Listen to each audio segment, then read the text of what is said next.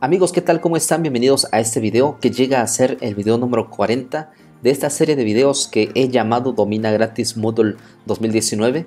En esta ocasión vamos a exportar algunas preguntas a un archivo para que posteriormente ese archivo pueda ser importado a otro curso en otra plataforma.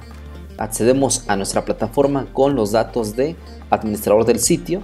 Una vez que estemos aquí, vamos a irnos a página inicial del sitio Posteriormente elegimos el curso donde tenemos esas preguntas que queremos nosotros exportar.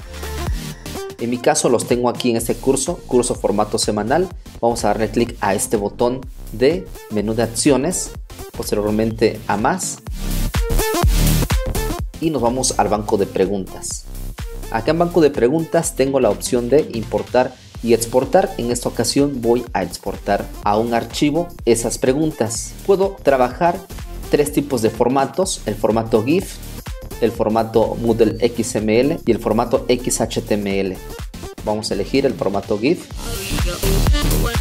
y vamos a exportar la categoría donde se encuentran nuestras preguntas. En este caso es la categoría por defecto. En caso de que tú tengas preguntas en otras categorías, simplemente las seleccionas. Vamos a exportar preguntas a un archivo y listo. Observa que automáticamente se descargó a mi computadora un archivo que contiene esas preguntas. Así se ve un cuestionario de Moodle por dentro.